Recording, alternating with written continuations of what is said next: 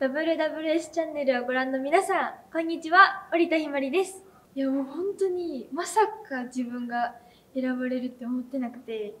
もうびっくりしすぎて、嬉しいもあったんですけども、びっくりが大きすぎて、でも今日は授賞式ということで、楽しんでいきたいと思います。と、あんまり制服でこういうリボンをつけたことがなくて、それがすごい可愛いなと思って、制服のポイントになってるなって思って、すごい好きです。やっぱり今中学3年生でもうすぐ受験があるんですけど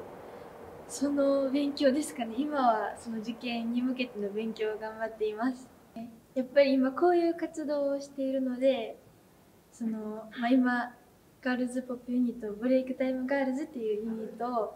で活動させてもらってるんですけどそこのそこでのイベントとかも成功させることとか大きくなることやあとドラマとか連続ドラマとか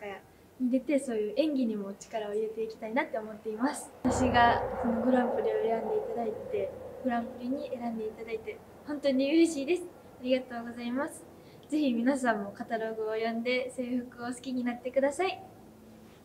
森田ひまりでした。